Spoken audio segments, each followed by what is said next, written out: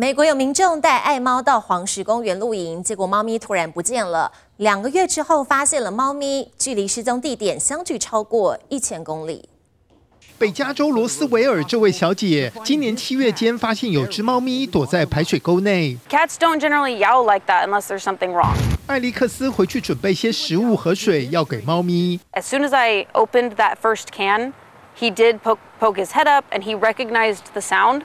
So to me, that indicated that he was a pet. 艾利克斯将猫咪送交防止虐待动物协会。由于猫咪身上有植入晶片，八月份联络上了主人。From June 4th to August 3rd, when we got the phone call, I have no idea. What happened？原来六月初，苏珊一家带着名叫彩虹的猫咪到怀俄明州的黄石公园露营，途中彩虹受到惊吓，消失的无影无踪。被发现时是在一千多公里外的北加州。I believe truly that he made that track mostly on his own. He was pretty. His paws were really beat up. Um.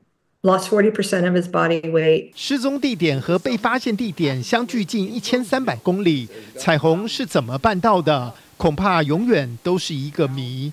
刘永伟编译。